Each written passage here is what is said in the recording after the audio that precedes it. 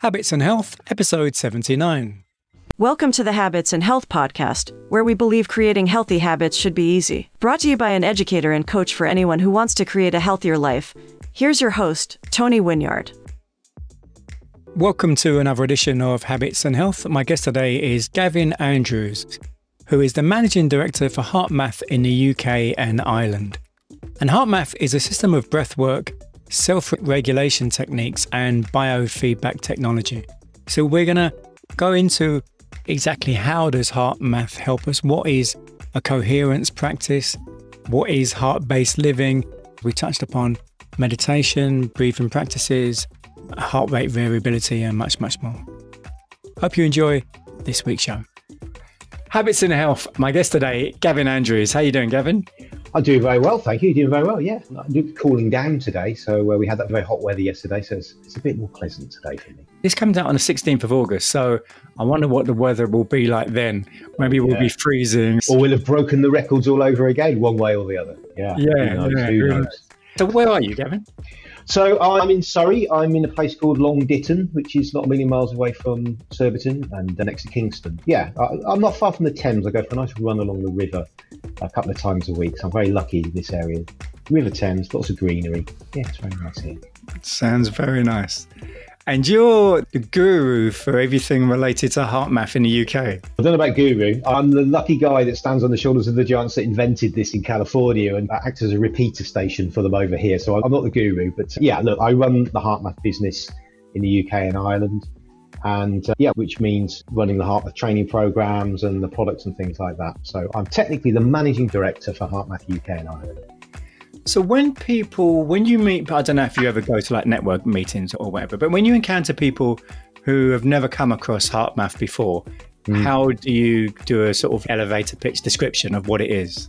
Blimey, do you know what? It's actually quite a tricky thing to, to define because there isn't really anything else like it. Yeah, so look, HeartMath's basically a system, and it's a system that includes breathwork practice, which we call coherence breathing. Some people call it resonance breathing or 0.1 hertz breathing. So breathwork component.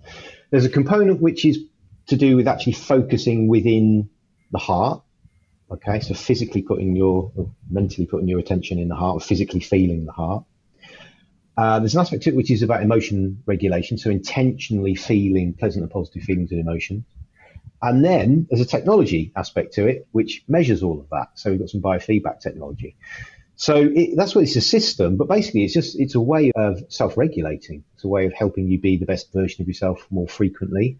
And sometimes the way I describe it as well is it's a bit like aspects of positive psychology with breathwork and a, like a Fitbit for your emotions, which is what the technology is. So it's all of those things blended into one. And a lot of people, when they first come across HeartMath, think that we are our product, which is a biofeedback device. So they think that we're a tech company. We're actually, not a tech company at all. Anything, but like a transformation company, and you transform yourself with the techniques and you transform yourself with the technology as well. That's a bit longer than an elevator. So that's a tall building, that one, isn't it? There's that place in Dubai, was it? That yeah, exactly. Right. Or how? When did HeartMath start? Do you know?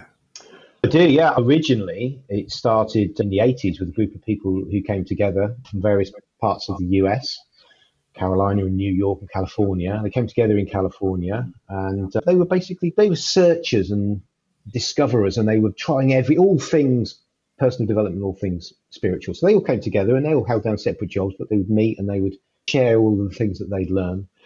And over that time, they developed this understanding that actually you could simplify a lot of this stuff to basically when you're feeling good, pleasant, positive feelings and emotions, and particularly things like care and gratitude, appreciation, love, those types of feelings, that you tend to be the best version of yourself and your interactions with others tend to be the most productive as well. So, having realised that, they then said to themselves, "Oh, blimey, how do we share this with the world? I guess we'd better create an organization. So, actually, the, then the HeartMath Institute, which is the first organisation, non-profit, was created in 1991, and they literally built the, like the buildings themselves and painted them themselves.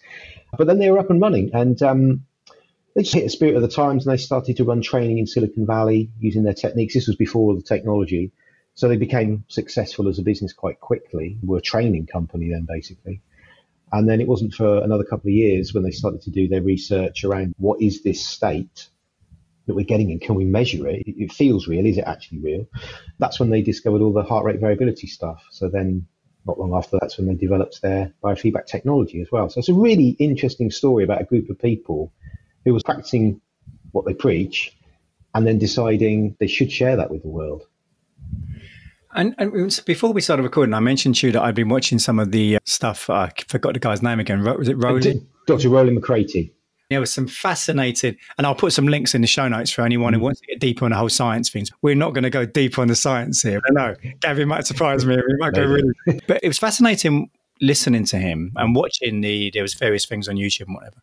One thing that came into my mind as I was listening to him he repeatedly referred to, oh, and there's studies for this and there's studies for this. And it made me think, has there been a lot of doubters about this? Because he kept referring to studies as if to, look, this is reputable. So it made me think yeah. there must have been a lot of people really doubting this, the way he kept saying that. Yeah, for sure. Look, over the years, we've there's been a, a few skeptics who've decided to take an interest in us and, uh, and question some of what we're saying. Basically, so our research covers a relatively broad area that includes heart rate variability. So heart rate variability is a real thing. You know, it's, a, it's a real measure but specifically an aspect of that called coherence. So we were measuring this to begin with, and we were measuring the impact of emotions and feelings on heart rate variability. Now, even back then, there were people um, who said you can't control your heart rate variability; it's part of your autonomic nervous system. There's nothing you can do about your heart rhythms. They just do what your body needs it to do, you know, or, what, or basically whatever you're feeling might impact it, but you can't do anything about it intentionally. Even some of the very first researchers within heart rate variability didn't believe that. So that was one area where we were criticised, and then turned out actually you, know, you can influence your heart rate variability, and positive emotions do particularly influence what your heart rate variability is doing. And so then from there, we've been researching the interactions between the heart and the brain. And again, a lot of people like the brain is doing everything. You know, the heart's a dumb pump that squirts blood around the body. And now we realize, well, the heart isn't just a dumb pump that squirts blood around the body. It's quite a, a remarkable organ. And that actually the brain and the heart are very much connected. And that actually what the heart is doing has a particularly profound influence on the brain. The heart is beating the brain, particularly the stress centers of the brain are often firing at the same time when the heart's beating, and that has an impact on our perception. So we, I'd say that we were leading edge in a lot of our research, and that for those people who are wedded to a particular paradigm, they often don't like that, and so therefore they may criticise. I mean, another recent area is we have research around the impact of certain energies on humans. So Earth energies, solar energies, you know, cosmic uh, activity, solar weather, those types of things. And mm. been researched for a long time the impact on people's behaviours, body rhythms, biorhythms, heart rate variability, feedback. And research has even shown that people have increased rates of, of cardio problems, heart attacks basically, during chaotic space weather and solar activity. And funnily enough, that proved to be true as well. In fact, New Scientist carried a, an article about that a few weeks ago. So, yeah, over our time, we have had people questioning what we're saying. I think part of the issue with that as well is that as a private organisation that has a product to sell, people are perhaps suspicious of what you're always marketing your own stuff, basically. Mm. So yes, yeah. But our research now, what we were saying in the early '90s, is being repeated by lots of researchers now. When and you mentioned HRV a couple of times there, becoming massive now, isn't it? Um, it is. In the, last, in the last few years, it is. Yeah. Where it was like Huge sounds like you guys have been talking about this for a long time. We were making products. Can only, um, imagine what the 90s. was like. Yeah, yeah. Then. We were measuring HRV with a consumer product basically in the 90s as biofeedback right. product of. For anyone who isn't aware of HRV, and a lot of people have, well, before you learn about this, mm. it would seem to be logical that the heart is like a metronome almost, and that's good but it's that's actually the opposite, isn't it? Yeah, you'd think that, would you? think if a system was going to be really optimally efficient, it would be like a metronome, but it's not. No, so our hearts are always speeding up and slowing down. Between each beat, there's different times to be difference between each of the beats. So that's what heart rate variability is, a measure of the variation between the gaps between the heartbeats. And we want more of it as opposed to less of it. So more of it is indicative of you being healthy. It correlates with both physical and psychological resilience. So think of it like elasticity. The more of it you've got, to a point, obviously, too much of anything is not necessarily a good thing, but generally, to a point, you want heart rate variability, good amount of it for your age. And that is helping you stay fit and healthy and helping you to recover from all of the challenges we put ourselves through physically and mentally. And with the popularity now of HRV, so there's so mm. many different devices that mm. that measure it. Mm. some good, some not so good. Because you guys have been in this field a lot longer, you, do you have any thoughts on are there any particularly good ones that do help people? So we, we've been in it for a while, but we're specifically interested in heart rate variability coherence. So there's right. 40 or 50 different ways of measuring heart rate variability, right. which are basically looking at how much or how little you've got. And that's what most of the devices on the market do. They're measuring you at different times, most of them over a day or so, or your night's sleep or whatever. And then they give you a number and they benchmark you over a, a, period of time. And then you monitor your number and you can work out is my variability good today or is it low? Is it particularly high? And then that can help you with sports training or lifestyle decisions, stuff like that. So it's just a way of sort of monitoring how you're doing, how stressed you are, or how resilient you are. Hmm. There's a lot of great devices out there that do that, within varying degrees of accuracy. Apple Watches and Fitbits do that type of thing. Oura Rings do that type of thing. They're, they're all really good devices. We've never really been interested in that market because what we're interested in is what you can do to your heart rate variability in real time. Right. And that's what coherence is all about. So we can all intentionally shift our heart rhythms into this state called coherence, where they go into this lovely ordered pattern where they speed up and slow down progressively, which is a reflection of what's going on with your autonomic nervous system. The sympathetic and parasympathetic are basically synchronizing with each other. And yeah, no one else has really caught on to that properly yet. I still don't know why. I'm slightly nervous that no one else has cottoned onto that yet because it's it's a really important part of our physiology. We should all be entering degrees of coherence at, at certain points throughout the day and at the night as at night time as well. Uh, but it's one of these things that you can intentionally do and practice that has significant health benefits. And you mentioned coherence a few times, and I mentioned to you I've been in the world of the oxygen advantage, Buteyko, and that sort of thing mm. for six years or so. Yeah and probably around the same length of time with the whole kind of Wim Hof. So the whole oxygen advantage stuff is very parasympathetic, and the whole yeah. Wim Hof stuff very sympathetic. Yeah, but I've never really explored that kind of bit between that. That and it's funny how you can hear something so many times, but for whatever reason, it doesn't really sink in. And I heard you speak a few months ago at the health coach something or other. I forget what it was, but you did a presentation there. Mm. And it's only recently that coherence has really started to make sense to me. So, for anyone who's listening, maybe who was as dumb as I was and didn't mm. realize the importance of coherence, could you explain what what that is? Yeah. So, look, let's try and keep it really simple then. So, the sympathetic, the Wim Hof stuff, here, that's like using your accelerator, and it's great stuff. You can exercise the sympathetic and get great results from doing all of that. The oxygen advantage stuff and lots of other techniques are about the parasympathetic, which is more like the brake. So that's helping you slow down, relax, recuperate, all those types of things. Coherence is in the middle, right? So we think, the way they explain most of the time, so you're either in sympathetic or you're in parasympathetic. It's not quite as simple as that. There are always inputs from both. It's just that you've got more of one than the other when you're in a sympathetic or a parasympathetic state. So what coherence is actually you've got both inputs going on, uh, and they're, they're in relative balance. Actually, the higher levels of coherence they're in extreme balance, basically.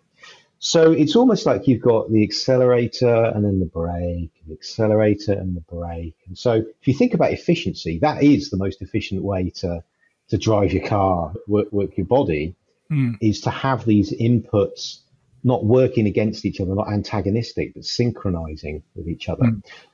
Now, when that happens, very special stuff happens within your body. So the heart's in that rhythm, it's reflecting what's going on with the autonomic nervous system. But these rhythms are oscillations, and actually, what's happening is your cardiorespiratory system is resonating at its optimal frequency. So it's like literally vibrating. That might sound weird to some people, but everything's vibrating. We're vibrating. So we start basically vibrating at our optimal frequency. And so what happens then is that all of the other body's systems and processes entrain to that optimal rhythm. So that facilitates homeostasis. So it helps your body to rebalance itself and reorganize and repair. And it also benefits the brain. So the brain starts to follow, the brain waves follow the same rhythm, breathing from the autonomic nervous system.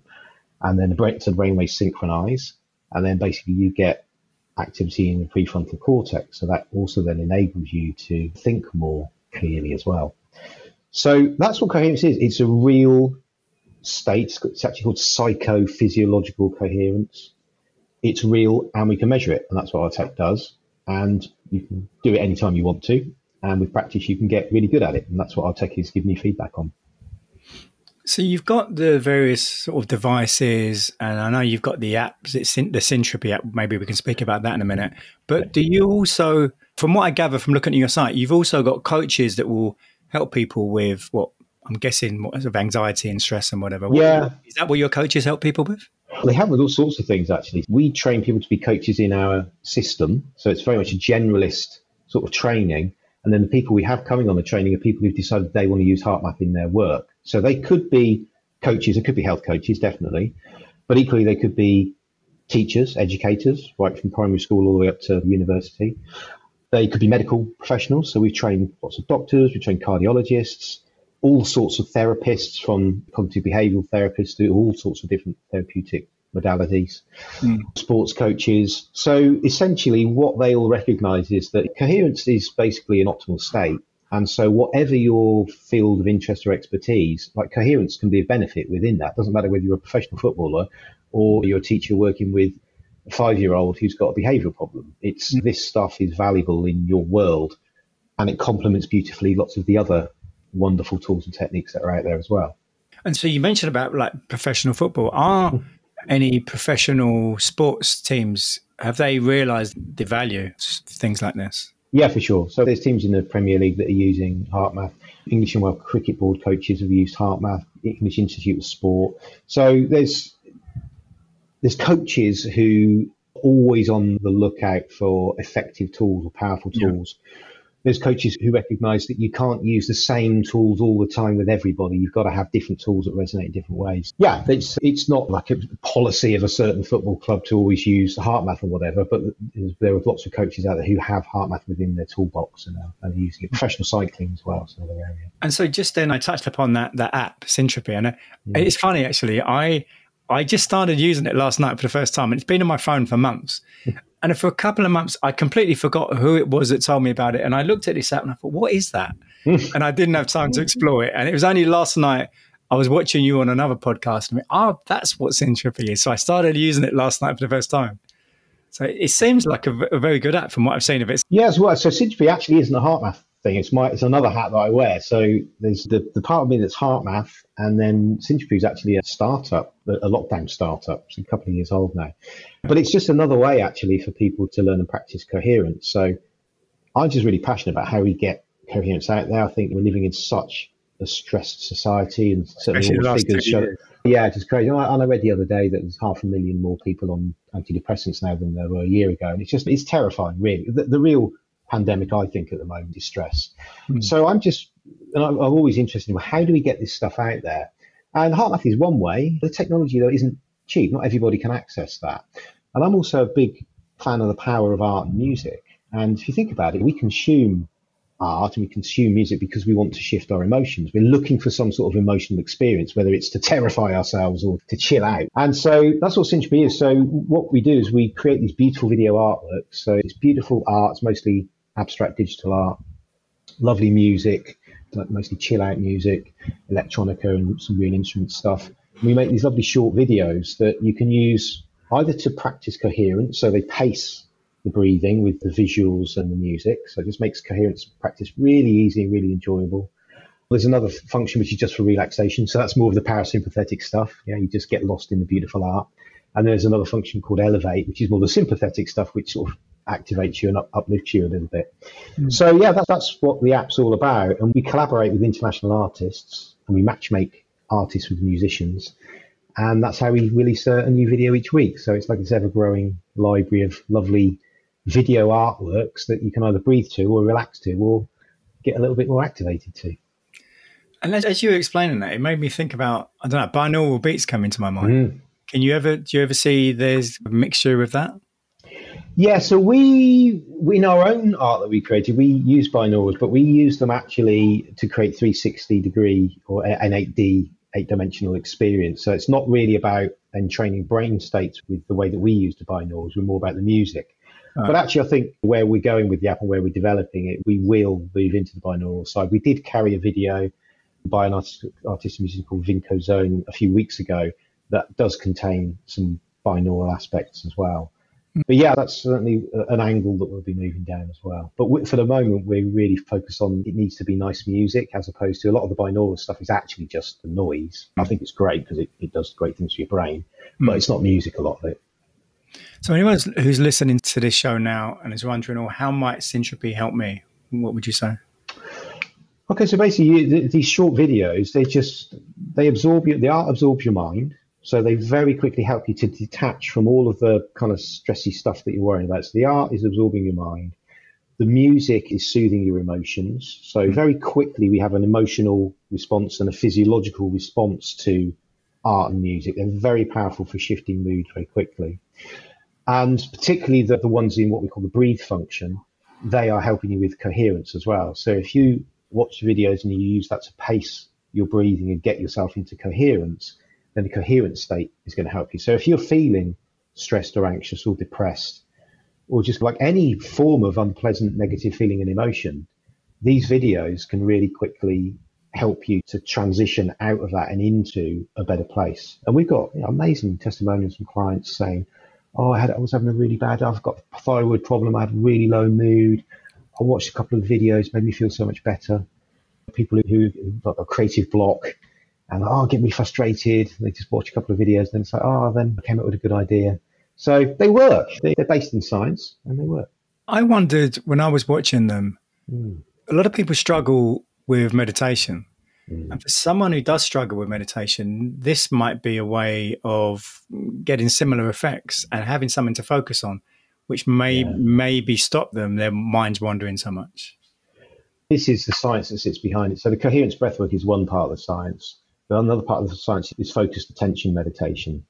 So when we place our focus on something external and either concentrate on it or lose ourselves in it, mm. abstract art, geometric art, mandalas, they're very powerful for that. Mandalas and geometries have been used for centuries, millennia to, to achieve those types of aims. Mm. So it does, it makes it very easy for you to focus on that one thing. And the benefit of focusing on something external whilst you focus on something internal, like your breathing, mm. is is even greater. So for sure, we think that part of the market is people who just don't get on with mindfulness and meditation, tried it, can't do it, mm. don't notice the difference, too difficult. Whereas these videos, they're only between three and five minutes long. Mm. And you can just watch them on your phone or your tablet anytime, any place. So it just makes it a lot easier. Yeah, I think it's a it's another tool that's out there, and it will suit a lot of people who aren't necessarily into the meditation and mindfulness piece. And you've got there's like a free free trial period as well, isn't there? So yeah, free trial for a month. So you can cancel anytime you like up to the month. And, and then you can either take out an annual subscription, it's only twenty nine ninety nine, or a monthly subscription, which is two ninety nine. It's not an expensive app at all. And yeah, but give it a go. You've got the free monthly trial. There's mm. at the moment this week there's 55 videos in it at the moment. We release a brand new video every single week, so it's an ever growing mm. sort of gallery of video artworks. That's what subscription's paying for is the, the video each week and the existing gallery that's in there.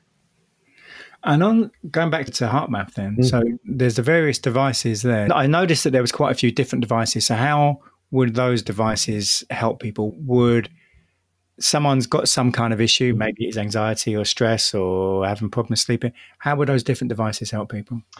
So the devices are all doing the same thing, different positioning in the market basically. They're either for consumer use, which would be what we call the inner balance. There's actually three of them, but they all do the same thing. One is a Bluetooth version, and then there's two wired versions. So if you don't like Bluetooth, you can have ones that just plug into either an Apple phone or an Android phone, but they're doing exactly the same thing.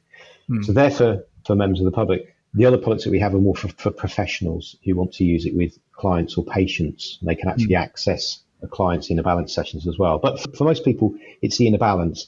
And what that's doing then is it's giving you, it's measuring your heart rhythms, your, your, your HRV. Mm. And it's got a clever algorithm which is then measuring the degree of coherence within your heart rhythms. And it's giving you visual feedback.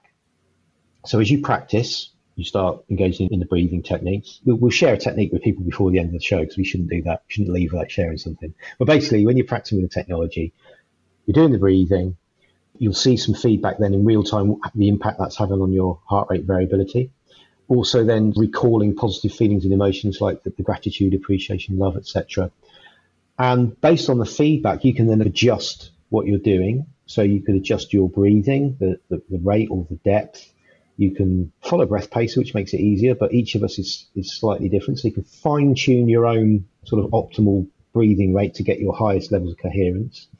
So it helps you with that. Frankly, helps you with the habit as well. It shows all about habits and, and health. And for me, that's why I continue to use it. It's the habit of practice. And I mm. like to get my 20 minutes a day fix of using the device. And I like to be able to track my scores as well and compare sessions, like a whole history of the sessions. So if you're into measurement as well, and you're a quantified health gang or biohacker gang out there, then yeah, it's a great way of building that habit, but also measuring yourself, seeing yourself improve over time. And then once you reach that sort of plateau state of high performance or your ability to get coherent, you can keep yourself there and you'll see yourself modulating on a daily basis as well. Can you think of any examples of someone who's maybe had some real issues with their health and they've used one of the devices and it's given them some like some really good results? Yeah, I've worked with, with plenty of people who've seen really strong results. So from things like autoimmune conditions, we've seen people they start with very low heart rate variability and they find it very difficult to get coherent. But with practice, and, and this stuff isn't magic, Tony. You've got to do it. But with practice, we've seen those people get more HRV, so that's a that's an objective measure that they're getting physiologically healthier.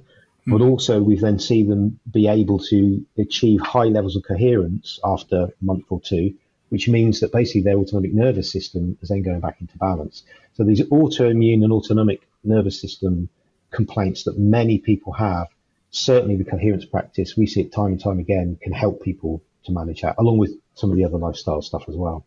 Mm. Other examples, people with anxiety, so again, people with anxiety tend to have high heart rates but very low HRV. And then what we see typically is if people do the practice, then over time we'll see their resting heart rate will come down. We'll see the amount of HRV increase. And again, we'll see that they have learned to take control of their autonomic nervous system and they can put themselves in this lovely ordered coherence pattern. So you know, it's evidence that they've acquired a skill and the practicing of that skill is benefiting them and helping them to heal and recover from whatever the physical or mental condition was that went before it. And I've never used one of your devices, but just from your explanation, it seems to me that it's going to help with so many different areas. So if, if someone is having trouble sleeping or with stress or anxiety, and that could be the kickstart they need to then help with various other chronic issues that they have as well. Yeah, I think that one of the problems that people often face is they don't really know what to do to help themselves. Hmm. They may have tried some other things as well.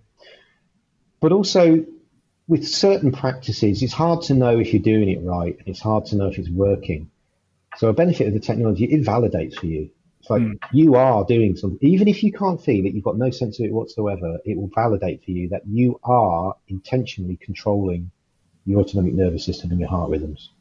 And that's empowering, really empowering. So once once someone gets a realization of that, oh, I've had this anxiety disorder. I thought that anxiety just ruled my life. But actually what I've just seen is that I can intentionally overcome the physiological hardwiring and psychological hardwiring of my anxiety. I can do that. That's mm. really empowering. And that quick win can then be enough to lead to dedicated practice. Going back to that, and again, I keep forgetting the guy's name. Is it Roland? Roland? Roland, Dr. Roland McCraty, our mad professor. Yeah, Dr. Roland McCraty. Okay, the mad professor.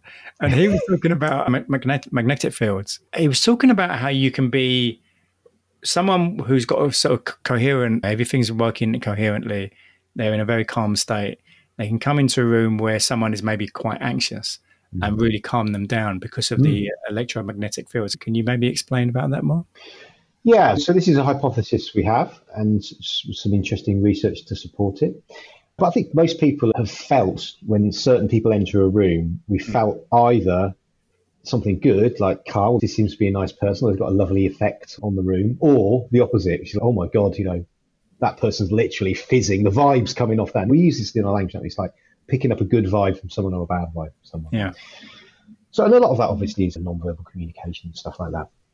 Our hypothesis is that in addition to that, we are also picking up the heart's electromagnetic field. Hmm. And this is, again, when it comes to kind of the skeptics and stuff, they don't have a problem with animals being able to do this and animals sensing like really subtle fields and energies. So it's fine if animals can do it, but no, humans, no way, we can't do it. Really, even though we're like the most sophisticated creatures in the known universe. So our hypothesis is that yeah, we can that at that electromagnetic component of us, which we are always emitting, and which is basically imprinted with our emotions, hmm. that is in, is influencing other people. That they can mostly unconsciously they're, picking up on it basically, hmm. and that we are in charge of our electromagnetic field. Hmm. We can put different information into that field through practicing coherence, that is creating this ordered or stable electromagnetic signal, mm. and that that ordered stable electromagnetic signal has the potential to lead other people into the same state. Mm. And there's a very strong body of research around synchronization, not just heart rhythms, but brain waves, the breathing rates, all sorts of like biomarkers show that we are synchronizing and desynchronizing with each other all the time. Mm. And so our particular area of interest is that energetic level, particularly around the electromagnetic field. And that, yeah, we can literally show up in an environment in a way that is conducive to interacting productively with others. Mm. Yeah, it's, it's fascinating. The whole that whole kind of EMF area is fascinating in, in many ways. Yeah, for sure. You mentioned about autoimmunity and so on, and, and so I wondered about are you able to help people specifically with conditions such as asthma and? Yeah, in fact, many kind of breathing issues, so asthma, COPD, emphysema, those types of things. yes, really good research to show that the practicing these techniques beneficial. Independent research, not just our research. There's a, researcher called Paul Lehrer who's been looking at this, and Richard Gevirtz has been looking at this stuff for, for a couple of decades now, and showing that the practice of coherence they call it resonance, but coherence breath work, particularly with biofeedback, that's pacing your breathing, giving you feedback on that, that's really beneficial for, asthma, COPD, etc. Mm. So it can help people. And, and yeah, one of the things with an asthma attack is they're very stressful. You, you think you've got one coming on, you, you get stressed. Mm. Well, through the coherence practice, you can regulate your stress. So if you can manage your stress, it's also highly likely that you're not going to have such a severe asthma attack. Mm. And stress brings on asthma attacks. So if you're reducing stress in your life, then maybe you'll have them less frequently. Yeah, for sure. It's the practice is benefiting the whole of your cardiorespiratory system. You mentioned that the HeartMath started what, in the early 90s, probably even in the 80s. When did you first get involved in HeartMath? How, how did that happen?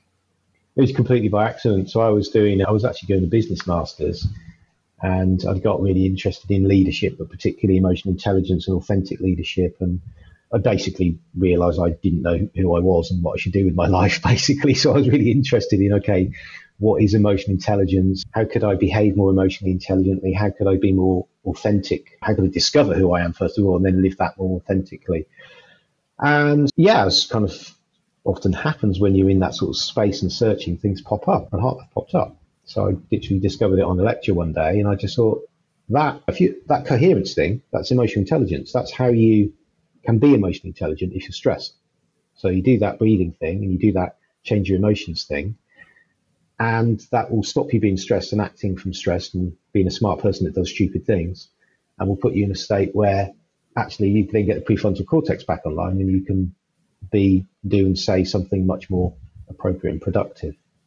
So that's how i got into it. That was back in 2007 i think i lose track and I just started to practice the techniques. I'd seen a demo with the technology as well, and I'm a gadget freak, so I bought the gadget, and it just worked for me very quickly. I noticed changes. I noticed that I was less stressed. I wasn't catastrophizing as much. I even noticed physical benefits. I wasn't getting aches and pains and pulled muscles and stuff from sports training. I wasn't getting ill as frequently, colds and flus and stuff.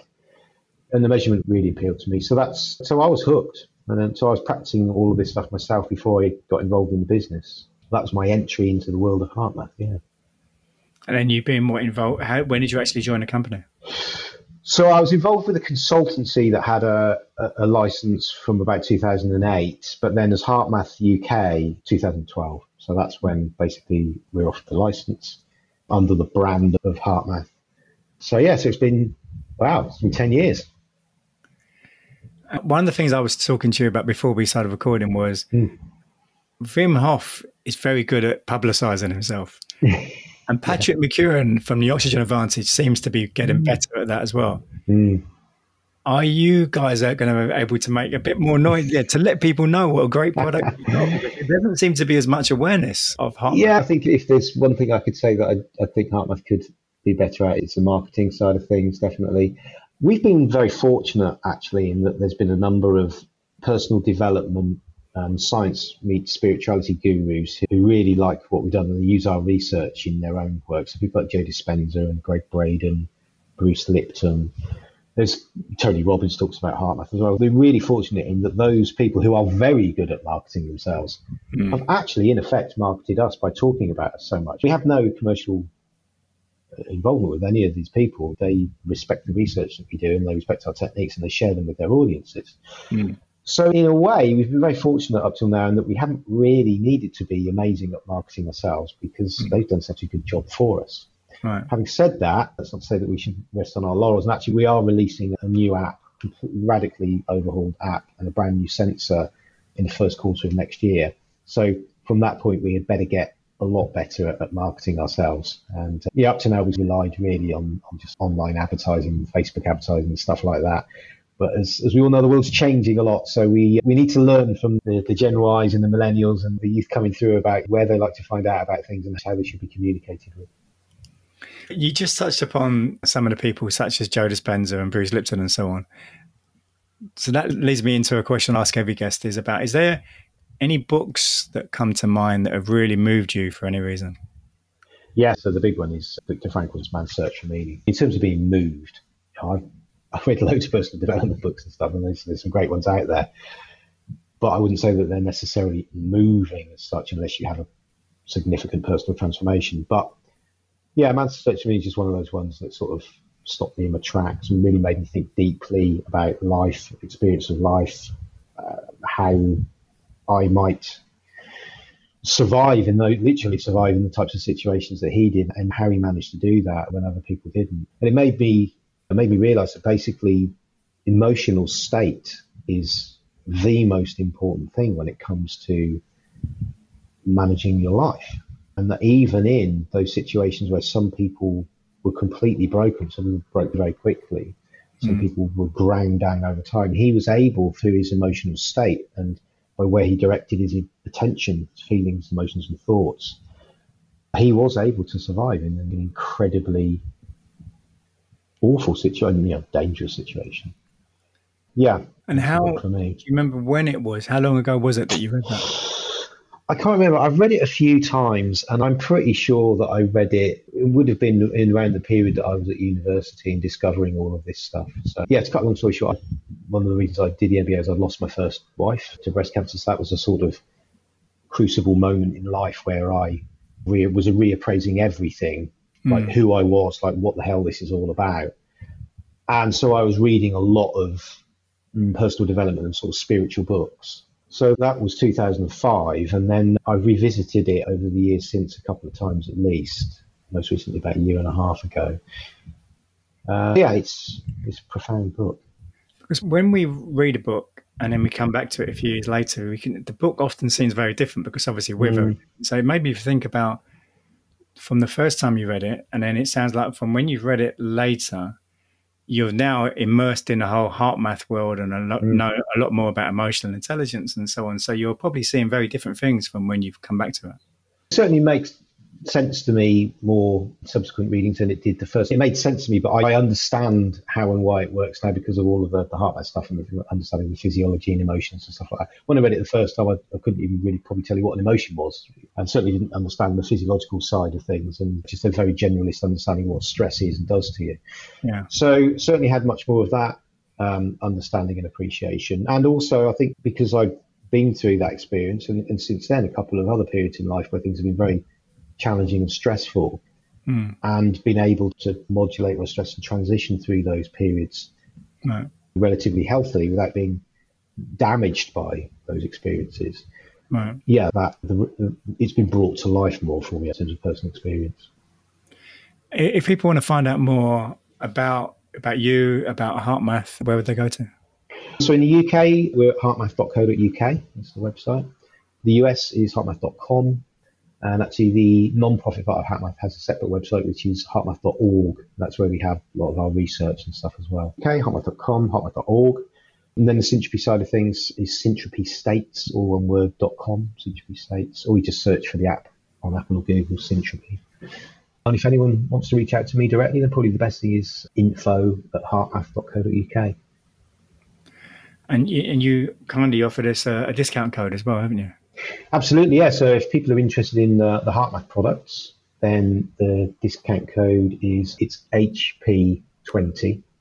That code's live till the end of the year, by the way. It won't apply if there's a sale on, but for non-sale prices, there's a 20% discount. So a really decent discount there and available till 31st of December. Well. And is that just for the UK or for the US as well?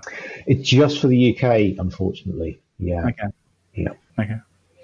And finally, Gavin, is there is there a quote that has resonated with you for any reason? Yeah, the quote is uh, is the Viktor Frankl one. So yeah, it's the between stimulus and response there is a space. In that space is our power to choose our response. In our response lies our growth and freedom. And uh, yeah, that's also really what HeartMath is all about. If you recognise you've got the stimulus, you recognise in that those milliseconds that you do have the power to choose your response, then yeah, you can. And then the HeartMath is to how. Just focus in the heart, slow and deep balance the breathing, and actually you will respond as opposed to, to react. So your response will be much better in terms of productive, appropriate, etc.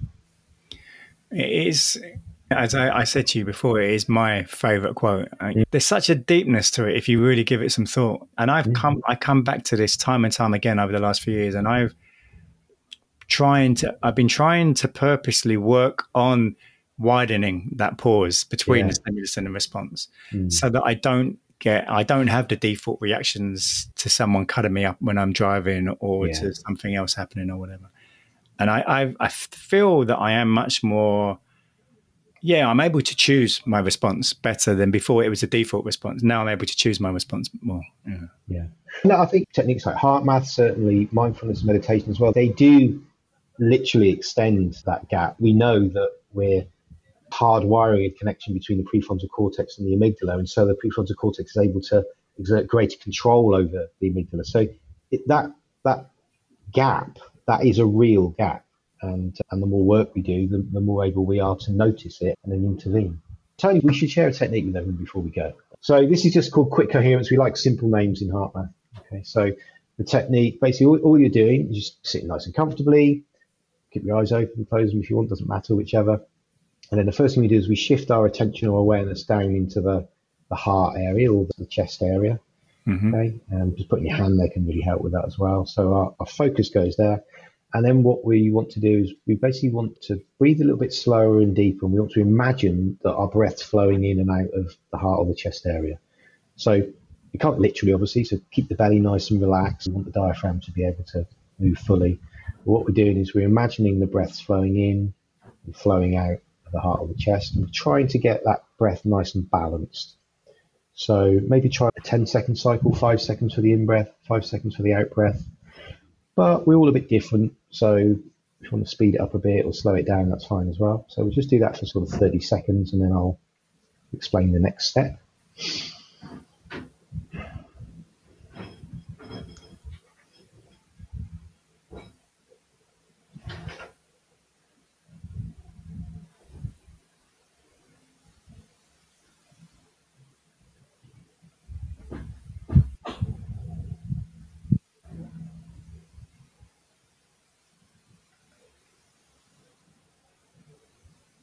Okay, so now all we're going to do is we're just going to recall a feeling of care or appreciation or gratitude, or love for someone or something in our lives.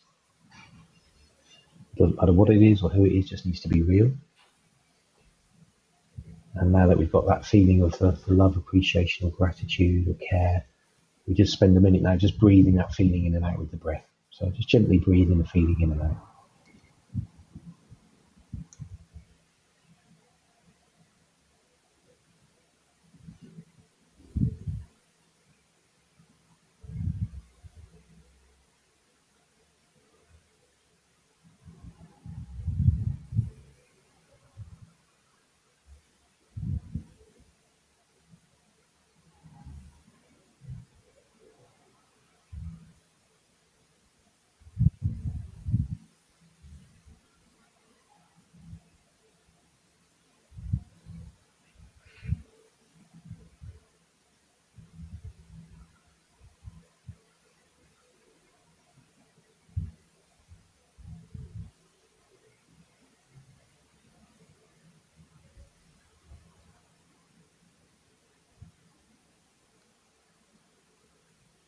Okay, so what we've all been doing then is taking control of our autonomic nervous system. We put our hearts into this lovely, ordered, rhythmic pattern.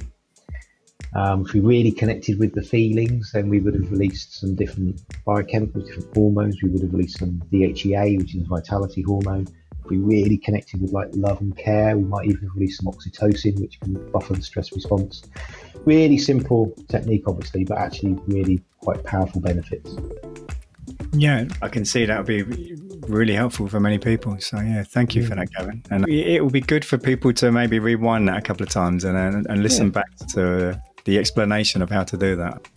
Thanks for your time, Gavin. And uh, yeah, best of luck with hopefully when this, the, the new app comes out. Is it this year or next year? Did you say the new HeartMath app? Should it's a it's an update of the current app, so anyone who's already got it will get it anyway. But yeah, it's going to come out the first quarter of next year sometime. Fantastic. Okay, thanks a lot, Gavin. Thanks, Tony. Cheers. Next week, episode 80 with Dr. Judson Brandeis. He is a urologic surgeon and author of The 21st Century Man. He's a doctor, a board certified urologist who currently practices men's health and sexual medicine in Northern California. He's completed two years of general surgical training and four years of urology uh, residency at UCLA Medical Center. And he now helps men in many different areas of health. The book 21st Century Man has a lot of advice from himself and also advice from 50 top doctors and men's health experts. And it's an excellent book. It's a very big book. So we're going to find out a lot more about that, how he helps men in general in next week's episode. That's episode 80 with Dr. Judson Brandeis. Hope you've enjoyed this week's episode and see you next week. Thanks for tuning into the Habits and Health Podcast, where we believe creating healthy habits should be easy. If you enjoyed this episode, please subscribe and leave us a review on your favorite podcast app. You can also sign up for email updates and learn about coaching and workshop opportunities at tonywinyard.com. See you next time on the Habits and Health Podcast.